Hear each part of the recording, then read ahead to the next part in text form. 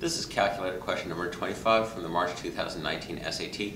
College Board gives us Ed Edward Tate Hall's diagram of space surrounding a person and asks what is the area in square feet of the region representing social space.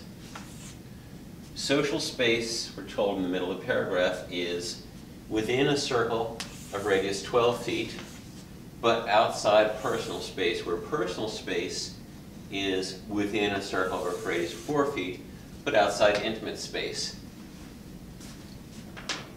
So the area of social space is pi big R squared, where big R is the radius of social space,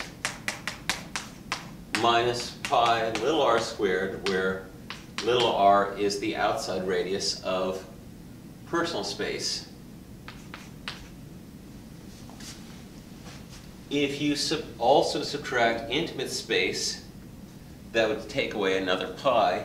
But if you're going to do that, keep in mind outside personal space, if I'm subtracting just the area of personal space, I don't subtract pi times 4 squared. I subtract the pi 1 squared for intimate space from personal space. So I would end up with pi 4 squared minus 1, and then minus pi 1 squared. So that's really the same thing as if I just subtract the outer radius for personal space.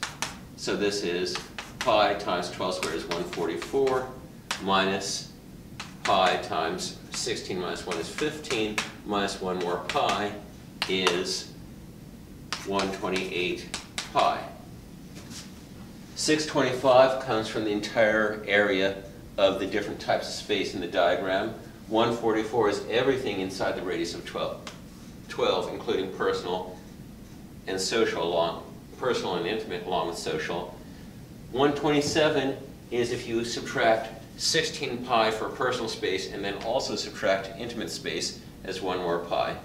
But the correct answer is choice B, which is pi times 12 squared minus pi times 4 squared.